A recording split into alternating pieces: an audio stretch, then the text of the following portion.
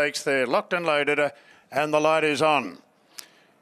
Storm Boy, the post time favourite, drawn the fence. The gates are back and they're off and racing. He's jumped out fairly. Mayfair revved up. Gatsby's going forward, and now Storm Boy is being pushed up on the inside. And Hieronymus wants the front on Storm Boy.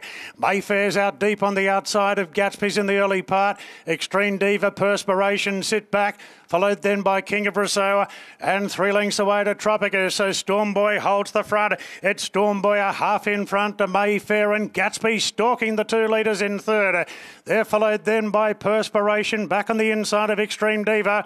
Two after King of Rousseau and Tropicus is last of all. So Storm Boy's trying to make all. Storm Boy turns the corner in front, getting the better of Mayfair. Now Gatsby's is being called upon three lengths away. 300 to go. Storm Boy with a strong lead. Storm Boy two in front. Gatsby's has got the job to pick him up. Mayfair's had enough, but Storm Boy's full of running inside the 150. And Storm Boy, what a great return to racing. Really gets his career back on track today. A big win for Storm Boy in the San Domenico. Mayfair kicked on for second. Photo third. Gatsby's and Tropicus.